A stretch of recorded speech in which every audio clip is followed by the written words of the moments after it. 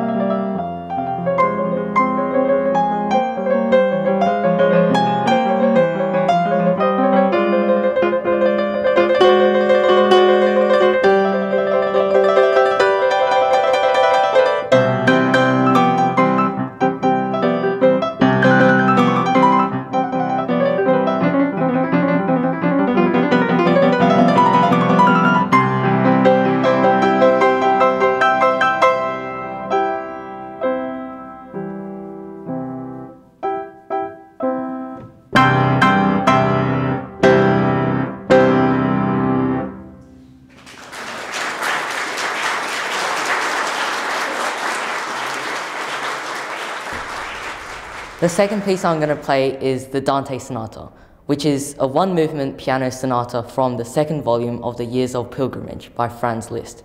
It represents the dichotomy between heaven and hell throughout the 18 minutes of the piece.